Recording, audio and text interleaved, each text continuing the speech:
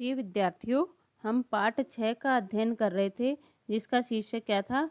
पार नज़र के। पाठ छः का शीर्षक क्या था?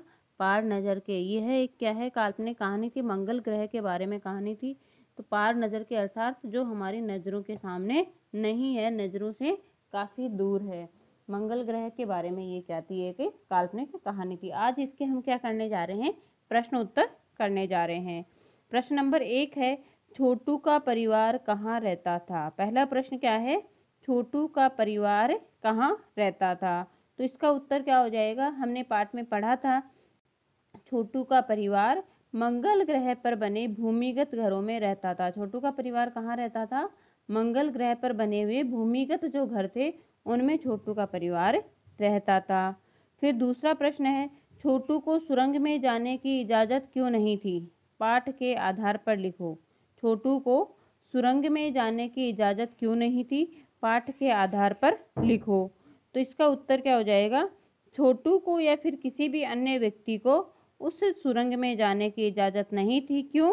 क्योंकि उस सुरंग से होता हुआ ज़मीन पर जाने का क्या था? एक रास्ता था और आम आदमी के लिए रास्ता इस रास्ते से जाने की क्या थी? मनाई थी। आम आदमी, कोई भी आम आदमी जो है, वो इस रास्ते से नहीं जा सकता था। वापस से एक बार देख लेना। छोटू को सुरंग में जाने की इजाज़त क्यों नहीं थी? छोटू या फिर किसी अन्य व्यक्ति को भी सुरंग से जाने की इजाज़त नहीं थी? क्यों? क्योंकि उस सुरंग से होता हुआ रास्ता कहाँ जा रहा था? ज़मीन पर जा रहा था और आम आदमी के लिए इस रास्ते से क्या थी? जाने की मनाही थी। आम आदमी नहीं जाते थे, कुछ चुनिंदा लोग ही थे जो इस रास्ते से जाते थे। प्रश्न नंबर तीन है, कंट्रोल रूम में जाकर छोटू ने क्या देखा और वहाँ उसने क्या हरकत की? कंट्रोल रूम में जा कर के छोटू ने क्या देखा और उसने वहाँ पर क्या हरकत की? जो, छोटू जब कंट्रोल रूम में गया तो उसने देखा, सब लोग क्या हैं? मंगल पर उतरे हुए यान की वजह से क्या हो रहे थे? परेशान हो रहे थे। मंगल पर एक दूसरा अंतरिक्ष यान आ गया था। तो उस यान की वजह से सब लोग क्या हो रहे थे? परेशान थे। जब सबका ध्यान स्क्रीन पर था तो छोटू का ध्यान कहाँ था? कंसोल पैनल, जो उसके पापा ने दिखाया था जिसपे बहुत सारे बटन बने हुए थे। तो उस कंसोल पैनल पर छोटू का ध्यान था, जिससे बटनों को देखकर वह स्वयं को रोक नहीं सका और बटन दबाने की हरकत उसने कर दी। कौन सा बटन दबाया था? लाल कलर का बटन उसने दबा दिया था।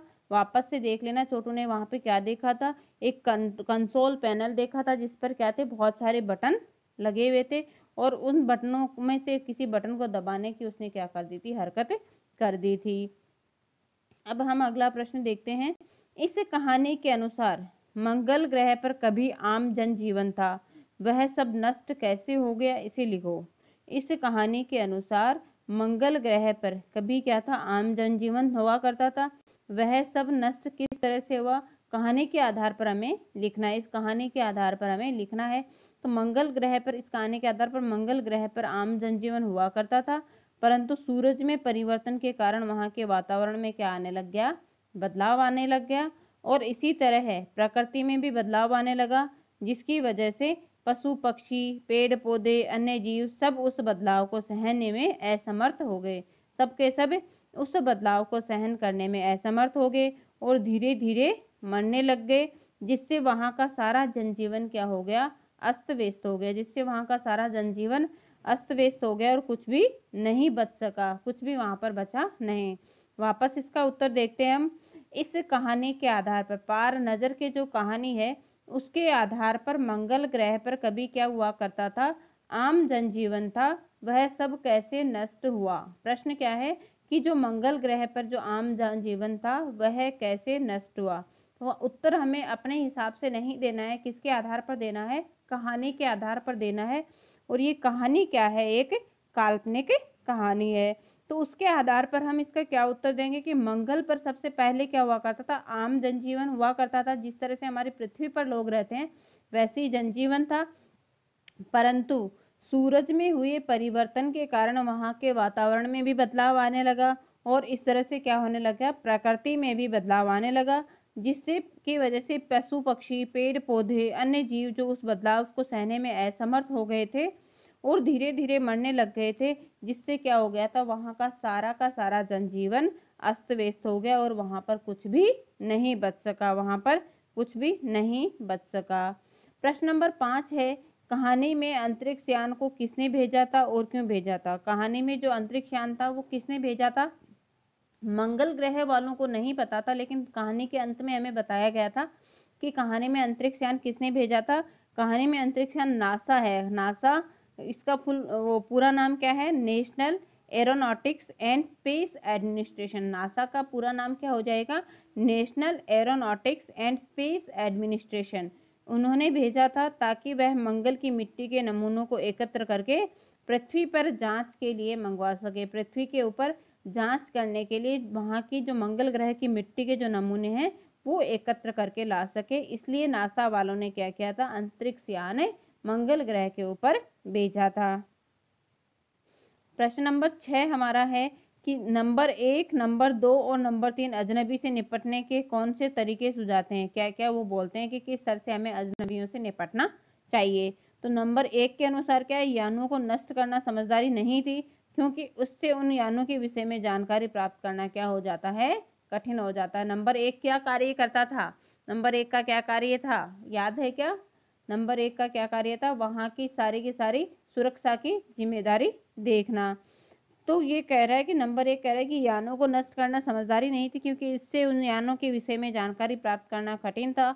इसके अनुसार ये यान जीवित रहित, जीव रहित यान थे, जिससे उनके ग्रह का कोई खतरा नहीं था। उनकी उस यान के अंदर कोई भी तरह का जीव उसके अनुसार नहीं था। इसलिए हमारे मंगल ग्रह को उसके अनुसार कोई भी खतरा नहीं है, ऐसा उसका मानना था। और इसी की बात का समर्थन दो नंबर ने किया था, जो क्या था, एक वैज्ञानिक था कि अगर यंत्रों को बेकार कर दिया जाता है तो उनके अस्तित्व को खतरा हो सकता है। इसलिए नंबर दो के अनुसार क्या करना है? सिर्फ़ हमें अवलोकन करते रहना है, उसकी क्या समझी थी उन्होंने? भलाई समझी थी। और इसी तरह तीसरे नंबर के अनुसार ऐसे प्रबंध करने की आवश्यकता थी, जो उनके अस्तित्व को छिपाए में सहायक हो, ताकि उन्हें यहाँ से कुछ प्राप्त नहीं हो, ताकि मंगल ग्रह से उन्हें ऐसे साक्ष्य प्राप्त नहीं हो कि यहाँ पर जीव भी रह सकते हैं। इन, इस तरह का प्रबंध करने का वो सोच रहे थे। इस तरह से तीनों ने अपने अपने सुझाव दिए थे। अब प्रश्न अगला है सिक्योरिटी पास ही दरवा सिक्योरिटी पास उठाते ही दरवाज़ा बंद हो गया।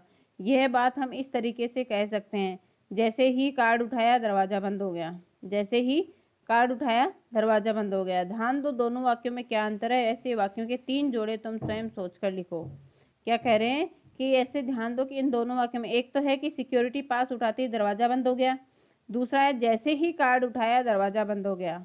तो ऐसे ही हमें तीन वाक्य बनाने हैं। इसे में हमने देख लिया, तेरे जाते ही बस आ गई। तेरे जाते ही बस आ गई। इसको हम कैसे बदलेंगे? जैसे ही तू गया, बस आ गई। जैसे ही तू गया, बस आ गई। उसने पकड़ा पर खाना गिर गया। उसने पकड़ा पर खाना गिर गया। जैसे ही उसने पकड़ा, खाना गिर गया। जैसे ही उसने पकड़ा, खाना गिर गया। फिर अगला है कंडक्टर के कहते ही बस चल पड़ी, कंडक्टर के कहते ही बस चल पड़ी। जैसे ही कंडक्टर ने कहा, बस चल पड़ी। इस तरह से हमें वाक्य बनाने हैं इसके। अगला हमारा प्रश्न है, छोटू ने चारों तरफ़ नज़र दौड़ाई। छोटू ने चारों तरफ़ नज़र दौड़ाई। छोटू ने चारों तरफ़ देखा। छोटू ने चारों तरफ़ देखा। उपयुक्त तो दोनों वाक्यों में समानता होते हुए भी क्या है? अंतर है। एक तो उसने चारों तरफ़ देखा, एक चारों तरफ़ नज़र दौड़ाई। इन दोनों वाक्यों में समानता होते हुए कुछ अंतर है। वाक्यों में मुहावरे विशिष्ट अर्थ देते हैं। नीचे दिए गए वाक्य में नज़र के साथ अलग अलग क्रियाओं का प्रयोग हुआ है। इन वाक्यों या का, वाक्यों या उचित संदर्भों में क्या करना है?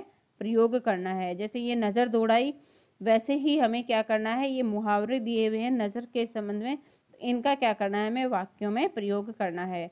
नज़र पढ़ना। इनका क्या हो जाएगा? नज़र पढ़ना। ज़मीन पर पड़े नोट पर मेरी क्या पड़ गई? नज़र पड़ गई, अर्थात दिखना, दिखाई देना। नज़र आना, सोनों की गलती सबके नज़र में आ गई। सोनों की गलती सबकी नज़र में आ गई। नज़र रखना, परीक्षा में अध्यापक सब बच्चों पर क्या रखे हुए हैं? नज़र रखे हुए हैं। नज़रें नीची होना, तुम्हारी गलत आदतों से हमारी क्या हो गई? नज़रें नीची हो गई, अर्थात लज्जा होना, लज्जित होना। ये हमारे क्या हो गए हैं? मुहावरों के अर्थ हो गए हैं। अब तीसरा प्रश्न है, नीचे दो दो शब्दों की कड़ी दी गई है। प्रत्येक कड़ी का एक शब्द संज्ञा है और दूसरा शब्द क्या है? विशेषण है। प्रत्येक कड़ी का एक शब्द संज्ञा है, दूसरा शब्द विशेषण है। वाक्य बनाकर समझाना है कि किस कौन कौन से शब्द संज्ञा है और कौन कौन से विशेषण है। कौन से शब्द संज्ञा है और कौन से विशेषण है? तो हम आकर्षक, हम किसी जैसे विशेषण क्या होता है? संज्ञा या सर्वनाम की विशेषता बताने वाले। विशेषण क्या होते हैं?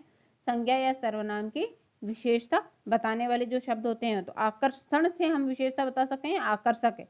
किसी के संज्ञा के सामने हम क्या लगाएँगे? आकर्षक लगाएँगे तो वो क्या होएगा? विशेषण। आकर्षण क्या हो जाता है? संज्ञा। ठीक है? वैसे ही प्रभाव क्या है? संज्ञा है और प्रभावशाली विशेषण है। ठीक है? प्रेरणा संज्ञा है और प्रेरक क्या है? विशेषण है। इनका हम वाक्यों में प्रयोग करते हैं। आकर्षक संज्ञा तथा आकर्षण क्या है? विशेषण है। अब वाक्य में हो गया, अपने अभिनय द्वारा सीमा सबके आकर्षण का क्या बन गई? केंद्र बन गई।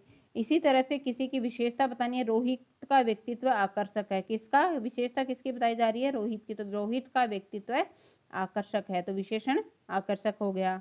प्रेरणा संज्ञा है तथा प्रेरक क्या है? विशेषण है। प्रेरणा संज्ञा है, प्रेरक विशेषण है। मुझे इस कहानी से प्रेरणा मिलती है। प्रेरणा का वाक्य में प्रयोग क्या हो जाएगा? मुझे इस कहानी से प्रेरणा मिलती है। इस किताब में कई प्रेरक कहानियाँ हैं। कहानियों की क्या विशेषता है? वो कैसी हैं? प्रेरक हैं। तो ये क्या हो गया? विशेषण हो जाएगा। इसी तरह से हम आगे देखते हैं, प्रभाव क्या है एक संज्ञ? प्रभाव शब्द किसमें आ जाता है? संज्ञा में आता है। और प्रभावशाली किसमें आएगा? विशेषण में। प्रभावशाली शब्द किसमें आएगा? विशेषण में आएगा। वाक्य में प्रयोग अगर हम करके देखते हैं तो युद्ध का प्रभाव विनाशकारी होता है। युद्ध का प्रभाव विनाशकारी होता है। प्रभा, प्रधानमंत्री ने प्रभावशाली भाषण दिया। भाषण की विशेषता क्या बताई है कि वह प्रभावशाली है? तो इसमें क्या हो जाएगा? प्रभाव संज्ञा और प्रभावशाली क्या है? विशेषण है। नेक्स्ट क्वेश्चन हमारा है पाठ में एक तो फ और एक जय वाले जो जहाँ पे जिनके क्या लगे हुए थे नुक्ते। नुक्ते क्या होते हैं? नीचे जो डॉट लगे हुए हैं, इन्हें हम क्या कहते हैं? नुक्ता कहते हैं। तो पाठ में फ और जय वाले चार चार शब्द छांट कर लिखने हैं कौन से वाले? जहाँ पे नीचे नुक्ता लगे हुए हो, इस सूची में तीन तीन शब्द अपनी ओर से भी जोड़ने हैं, फ और जय के। तो तरफ़ फ के नीचे हो गया रोज, स्टाफ, नज़र, सिर्फ़, इंतज़ार, साफ़, ज़मीन फ़ोन ज़ोर, फल, जबान, कफ, ठीक है? ये सारे के सारे कौन से शब्द बन गए? आपके नुक्ता वाले शब्द बन गए। इस तरह से पाठ सात के हमारे क्या होते हैं? प्रश्न उत्तर पूरे होते हैं। इन प्रश्न उत्तरों को आपको याद भी करना है और नोटबुक में आपको ज़रूर नोट करना। एक बार हम इनका वापस से फटाफट रिवीजन कर लेते हैं। पार्ट छः है, सॉरी पार्ट सात नहीं। पाठ छः है? पाठ पार नज़र के। छोटू का परिवार कहाँ रहता था? मंगल ग्रह पर बने भूमिगत घरों में। भूमिगत अर्थात भूमि के नीचे जो घर बने हुए हैं। छोटू को सुरंग में जाने की इजाज़त क्यों नहीं थी? क्योंकि वहाँ पर आम आदमी को जाने की इजाज़त नहीं थी। सुरंग का जो रास्ता था, वो ज़मीन के नीचे ऊपर जा रहा था और वहाँ पर कुछ चुनिंदा लोग ही जा सकते थे। कंट्रोल रूम में जाकर छोटू ने क्या देखा और वहाँ उसने क्या हरकत करी? वहाँ उसने क्या देखा था? कंसोल पैनल था जिस पर बहुत सारे बटन थे। उस बटन को देख करके वह स्वयं को नहीं रोक सका और उसने क्या कर दिया? लाल रंग का बटन दबा दिया। इस कहानी के अनुसार मंगल ग्रह पर कभी आम जनजीवन था। वह सब नष्ट कैसे हो गया, इसे लिखो। मंगल ग्रह पर जो आम जनजीवन था, वह सब नष्ट किस तरह से हो गया? उसके बारे में लिखना है। तो पहले आम जनजीवन हुआ करता था, परंतु किसमें परिवर्तन हो गया? सूर्य में परिवर्तन होने के कारण वहाँ के वातावरण में क्या आ गया?